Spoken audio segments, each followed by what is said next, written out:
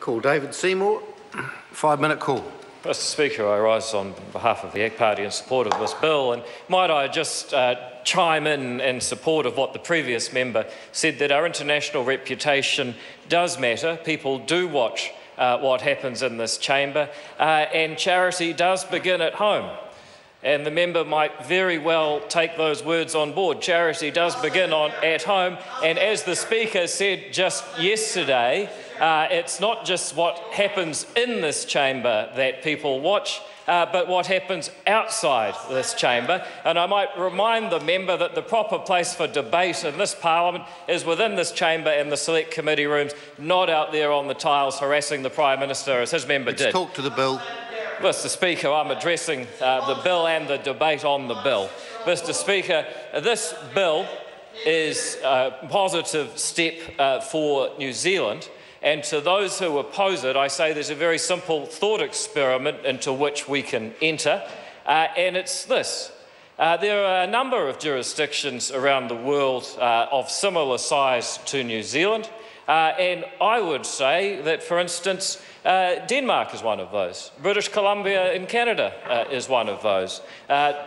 Colorado in the United States is one of those. And all of those jurisdictions are four or five million people uh, are deeply integrated uh, with the rest of the, of the region uh, that they're part of, with the United States in the part of Colorado, with the European Union in the part uh, of Denmark, uh, with Canada and the wider NAFTA area uh, in the case uh, of British Columbia. And to say that we do not have interests beyond our borders, that it's somehow an abrogation of our sovereignty to be involved in institutions such as this bank uh, is to close yourself off from reality in a way that none of those uh, jurisdictions would have done.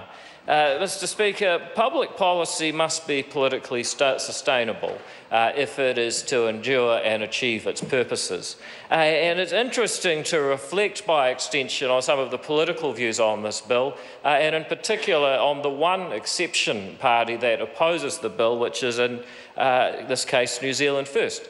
Uh, Mr. Speaker, New Zealand First is a party traditionally opposed to foreign investment in New Zealand. Uh, their argument is that large profits are taken out of New Zealand uh, when foreigners invest here. Uh, quid pro quo, one might have thought uh, that they would be in favour of New Zealanders investing overseas so we can make such large profits from those other jurisdictions. Uh, but it gets more interesting, Mr. Speaker. They're also a party that is typically uh, interested in government taxing taxpayers to fund a lot of enterprises and infrastructure. Uh, and quid pro quo, you might have thought the best possible policy for New Zealand first uh, would be to support a policy where New Zealanders are taxed by the New Zealand government uh, to provide capital for investments uh, which might become profitable and make a return uh, in foreign countries.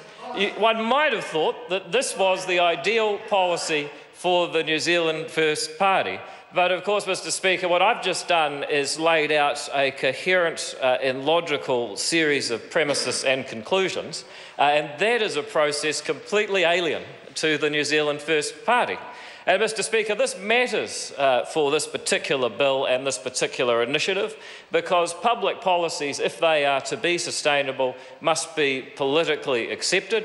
Uh, and New Zealand First claim that they may one day have uh, the balance of power in this House.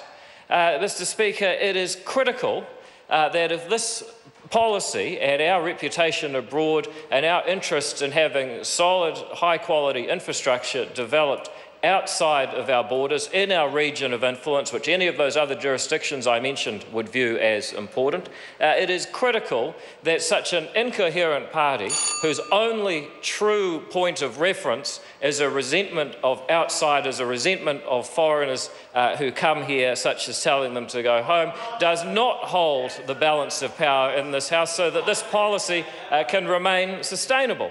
And not only uh, will that help in this particular particular policy, uh, but I dare say it would also increase the average IQ of this House. And I commend this bill to the House. Thank you, Mr. Speaker.